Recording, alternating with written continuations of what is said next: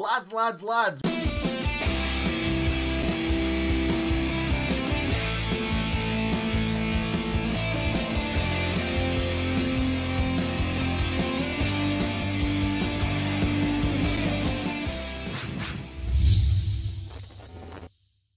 Ladies and gentlemen, welcome to another Sheff United Way transfer special. Today we're going to be talking about Jonson Clarke Harris possibly coming to Sheffield United from Peterborough. So let's get into it. Who is Jonson Clarke Harris? Well, he's a 26 year old left footed striker who was born in Leicester but came through the Coventry City youth system. He didn't make it at Coventry and then bounced around from club to club until 2019 when he signed for Bristol Rovers. And that's really where his career took off. Scoring 11 goals in 16 games in his first season and then 13 in 26 the following season. His form put him in the shop window for Peterborough to pick him up for an undisclosed fee on a four year deal. And what a deal that was because he scored a massive 31 goals in 45 games last season for the Posh. And that fired him to second place in the League One table, which obviously got them promoted back to the Championship.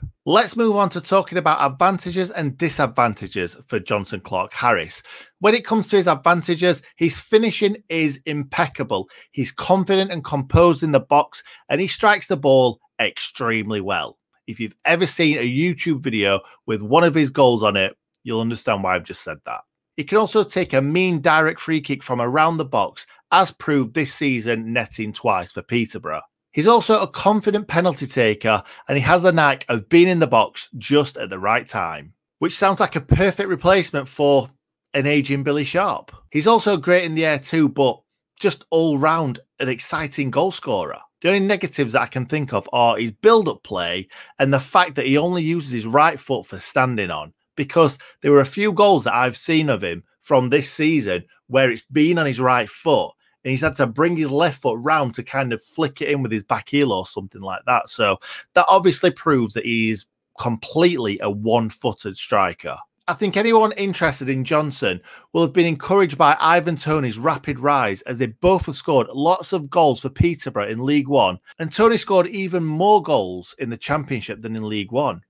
Maybe Clarke Harris can do the same. I honestly think, though, Ivan Toney's recent rise is because he's in a team full of players that can create lots of chances for him. And it's always easy for a striker to score goals when there's players around him playing really well. So I think Jonson would fit our system absolutely fine because currently we're playing 3-5-2 or 5-3-2. He's obviously going to be one of those strikers if we were to sign him.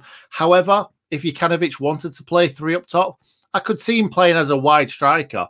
He's obviously playing as the main man, the the main number nine for Peterborough.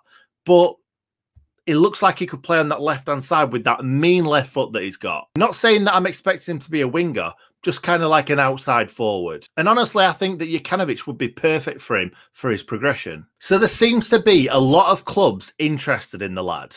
Rangers, West Brom, even CSK Moscow are interested, if you can believe that.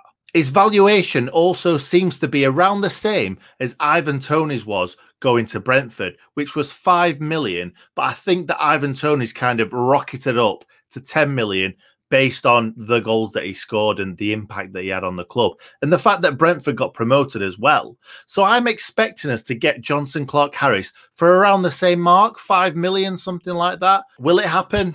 Well, I think we've got as good a chance as anyone. CSK Moscow have not been great this season, um, but Rangers, it's Champions League football at the end of the day. They won the Scottish League. It's Champions League football. Can we compete with that? I don't think so. But at the same time, that's Scotland. This is England. He could be playing Premier League football next season, just like what's happened to Ivan Toney. Do I think we need him? Absolutely not. Don't get me wrong. I think he will be a great striker, and wherever he goes next season, or if he stays at Peterborough, he'll have a great season. I I just know it. But we've got Brewster, McBurnie, Sharp, and Didsey that are all proven at this level. And that's without talking about Ollie Burke and Daniel Jebbison, who's one of the most exciting talents I've seen at Bramall Lane for a very long time. So, in my opinion, we don't really need any more strikers. We just need creativity to feed those strikers next season. So I'm giving this transfer a likelihood of three out of 10, and that's a week three. So thank you for watching. I hope this has given you a little bit more information on Jonson, Clarke, Harris.